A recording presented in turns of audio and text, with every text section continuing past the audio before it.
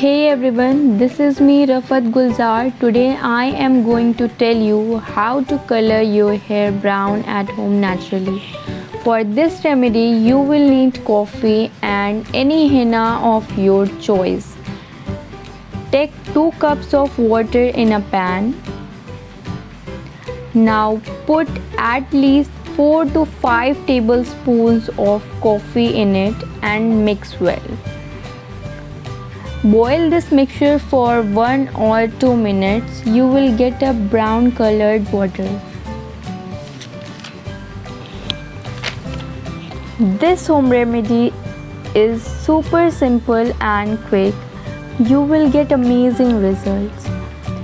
This remedy also strengthens the hair follicles and make your hair healthy as well as shiny. I have personally used this remedy and it gives a beautiful brownish tint to the hair and the color stays good 2 to 3 months. After first application, if you are still not happy with the results, repeat this procedure until you get the desired color. Before applying this, make sure your hair are not oily otherwise you will not get the color. Now your brown colored water is ready.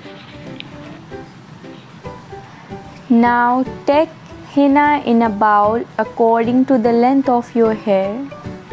जब तक मैं Hina powder bowl में डाल रही हूँ, तब तक आप मेरी वीडियो को लाइक कर दें चैनल को सब्सक्राइब कर दें और शेयर कर दें कमेंट लाजमी करें now mix the brown water in the henna powder Mix it well until no lumps are left in it. You can leave it for 2 hours and then apply. I advise to leave it overnight for better results. Apply this mixture in your hair for 2 hours and then wash off with a mild shampoo.